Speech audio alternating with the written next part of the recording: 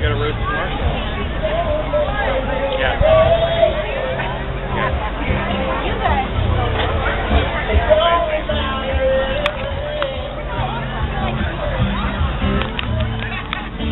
yeah.